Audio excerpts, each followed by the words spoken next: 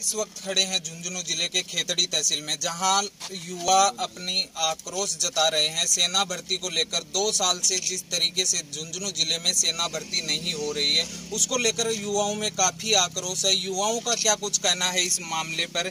जानते हैं इन युवाओं से। चार साल से लगातार प्रयास कर रहे हैं। झुंझुनू सरकार ने कुछ भर्ती भी नहीं निकाली, इसलिए हम धरना प्रदर्शन करेंगे। या चुनाव के समय नेता नांगड़ों ने भाषण दे जाते हैं।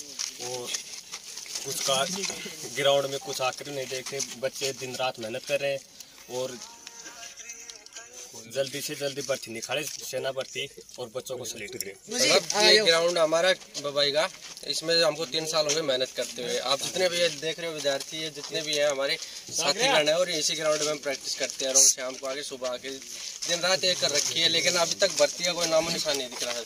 या इसको देखते हुए हम क्या करें? बताओ युवाओं कुछ आप सरकार भी नहीं कोई ऑब्जेक्शन दे रही है हमको कुछ करने को ना कुछ और कहने को, और जो हमारे जो सरपंच वगैरह, जो भी नेता नांगड़ आते हैं, बता जाते हैं, कुछ करने को उनको भी नहीं है, लेकिन अब करें तो हम क्या करें? वो तो अपना काम काज चला रहे हैं, हम क्या करें? लेकिन युवा उनको भी तो कुछ करना चाहिए। और धरना वरना तो हम खूब दे चुके हैं, अब क्या करें? बताओ, सरकारी द्वारा कोई कदम उठाई तभी तो हमारा वो युवाओं का कुछ हो।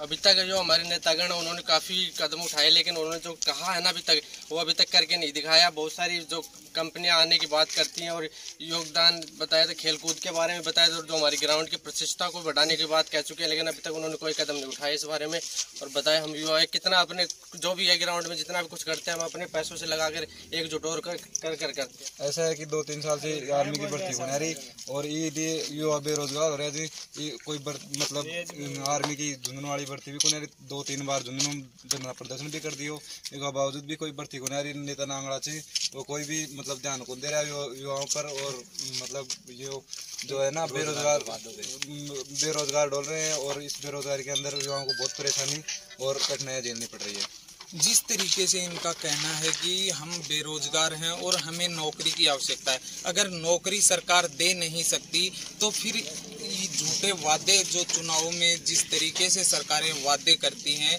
वो बड़ा ही शर्मसार कहा जा सकता है।